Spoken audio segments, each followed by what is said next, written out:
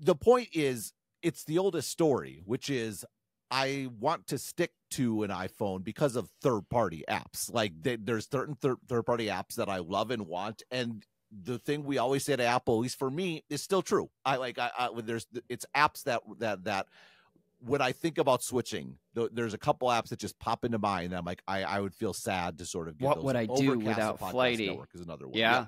yeah. Um, one of my big takeaways from WWDC is that if the iPhone continues down this road of incorporating ChatGPT, there's no way I'm leaving the iPhone. Like, like, like, I don't want to switch to Gemini. Like, I want mm. to keep using ChatGPT. ChatGPT is quickly becoming the most important app.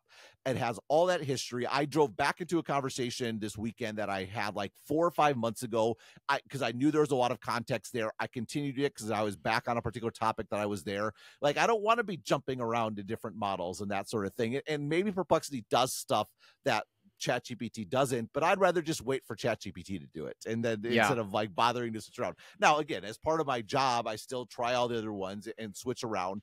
But I, I think for any normal consumer, that sense is going to be stronger. And on one hand, yes, theoretically, Apple is running a risk by having you know increasing their dependency on a third party. But i think we underrate even though again that's why i bring it up I brought up last podcast. We underrate the extent to which apple can draft on chat gpt by mm. by being the preeminent platform for using chat gpt um it's it's it's a big deal. And everyone is going to be facing that. Google is going to be facing that. Anthropic is facing it, and Perplexity is going to be facing that. And, and if Apple, hundred percent, I'm gonna we're just going to buy Perplexity, cut out ChatGPT, and push Perplexity for the yeah, next ten like, years. Eh, maybe I'll give Android a, ch- a shot. Ah, interesting. Apple, exactly. Be careful what you acquire, Apple. By the way, I was uh, doing some cooking this weekend.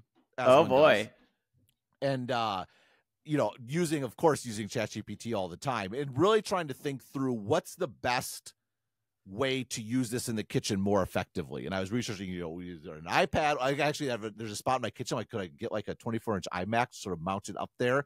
Like okay. that, that would be pretty sweet. And I realized it's really tricky to get a good combination visual and voice interaction, which is a what I want, and I want. That's that what I was wondering. Are you going to be talking to the iPad that's mounted in your kitchen above your stove?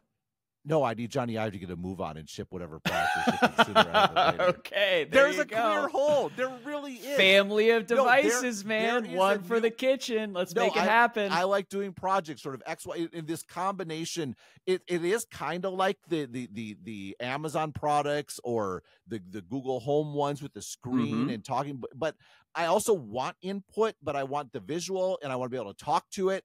Like there's a hole here. There really, really is, and, and it's not super clear, uh, like how to solve the call it AI in the kitchen problem. Again, yeah. there's ways to do it. You can use your phone, you can use an iPad, you can use a Mac, you can get like Alexa's promising to help with this, Google's promising to help with this. But again, remember, I want a Chat GPT one. Like that, that's that that's where I'm in. And it, I don't know, it just it's been a I, I guess I've been thinking about tech more than I realized this weekend. Just like how well, this takes me back to two years ago. my life.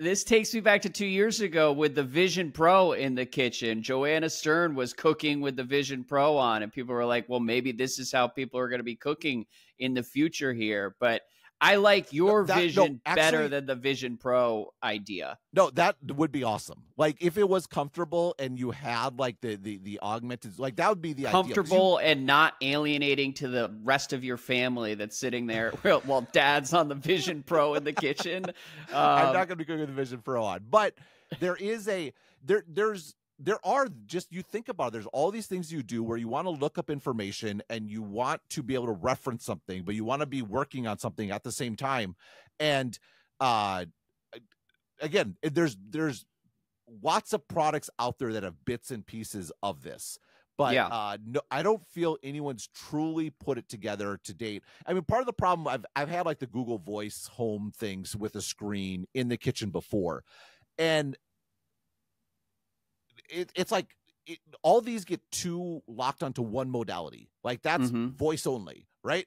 and then a computer just assumes you have a keyboard and trackpad and the the the touch devices assume you're using touch like we're we're actually struggling with multimodality to a certain extent and, and i think it probably is all the voice stuff is too voice centric what we need is voice and this I, don't know I, well just, no and vision vision should enhance think, think the functionality here because I and look I'm speaking as someone who's a C plus to C minus in the kitchen and when I'm struggling I would love to be able to show a photo of what I'm working with totally. or, or yep. have the computer look at whether it's cooked properly or not or, or and suggest and make suggestions on that basis and that should be possible over the next 10 or 15 years. And, that i think hasn't really been that viable from a multimodality standpoint over the last 10 or 15 years. So it's exciting whether it's the vision pro or openai's mystery well, device that's the thing. To really get this it has to be the device maker doing it because you want the deep like one of the ideas i saw mooted for the openai device that i think would actually fit with this perfectly which is the phone is great because you do get all that multimodality. It has a mic, it has a speaker, it has a screen, it has a camera. Mm-hmm. It does have all the pieces. The problem is, uh, and this is why again, this remains why I think Android, if they're ever going to really make a breakthrough in the premium market, this is the opportunity because Google has a good, a decent AI, and they have Android, and they yep. can theoretically start to tie this all together. There is a bit where it's still not perfect for cooking because you know I want my hands free or whatever, and I would actually like a bigger screen. The one good thing is I would love to be able to pull up YouTube videos on command, like very consistently, mm. and like show mm. show something or other. Like that would really be compelling. great. Yeah, YouTube, or, or like very, very valuable in the kitchen. Yeah. yeah, for sure, for sure. Like doing woodworking or or all these sort of different things that you might want to do, uh, uh, or putting stuff together or fixing stuff. YouTube, like Google has so many pieces here. Like eh, that's why that's why they're such a frustrating company. It's like they, it's like we talk about Google in the context of TV and sports. It's like they have everything they should deliver on this and it's like what are they doing? It's it, it's well and youtube is so valuable in so many ways. Just as you're talking there i'm thinking youtube has saved my ass over and over again as a homeowner when different things pop up and i just go to youtube and watch a six or seven minute video to figure out what the hell I'm going to do. Whether well, especially now Google search water heater will or... jump to like an exact moment in a YouTube video, so you need to watch all the preamble. It's great. Like, the, it's really great. So yeah, integrate that into yeah, a mystery device after all. But but but the one of the proposals I saw for this is basically it's like almost like I can't, I can't remember who who proposed this, but it's like a puck. Mm-hmm. And the point of the puck is providing multimodality to the computer because that was the, the striking things about the video is I think Sam Altman in the introductory video with Jony Ive was talking about using a Mac. And I, I, I remember I picked up on that because I'm like, I prefer using AI with a real computer also. Sure. Right. And, and I was, I was anchored on like the typing and, and also the big screen. But I think the idea of, of this puck is can you add the multimodality to your computer seamlessly? So you have like the voice input and the you know and the, the, you pick it up and it's a camera or you can sort of like like move it around but mm-hmm. still leverage other things as the output that's exactly what i was thinking about in the kitchen like that'd be amazing if i could have like a computer there and have something that seamlessly accepts voice input or whatever and it syncs up to the OpenAI server, so it doesn't have to get gunked down and trying in in a computer trying to like navigate who has priority, who doesn't, because they have the mm-hmm. whole sort of back and syncing service. I can pick it up and point it at the pot. Does this look right? Like, uh, that's know. what we want. Yeah, there's, spatial there's awareness. There's, there's, really something there. Yeah. Suddenly, I mean, the computer has video awareness and audio awareness. I mean, that does make sense. And, what well, were you cooking this weekend? Uh, just just uh, just some, some pasta sauce. It wasn't that complicated. okay, no, it was How a little complicated. No, but well, my, my wife does that was one that I think is actually really good, and she does a few things that are different.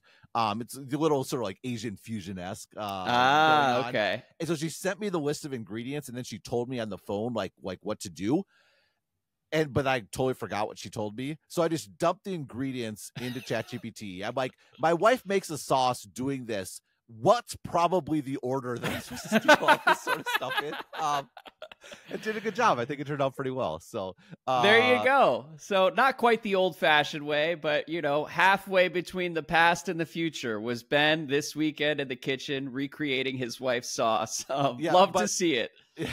But but the I don't know. Like there there is. I we're we're far off track. Um, all that to say, if Apple, I feel like Apple, okay, will buy Perplexity. It feels like backsliding.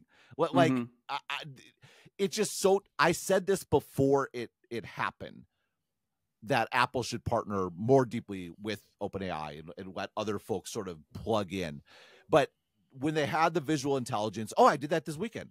I took a picture of a utility box, uh, and I'm like, "What is this utility box for?" I was like walking around the neighborhood, and then I took a picture and I pasted it into ChatGPT and it gave me an answer. And yeah, oh, that's exactly what they announced. I could just press the camera button on the side and send it to ChatGPT immediately and get an answer.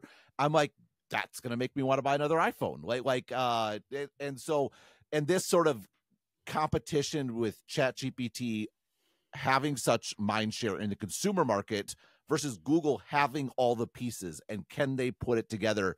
It's it's really just striking like like what that is and, and to see who can deliver on that. And um anyhow.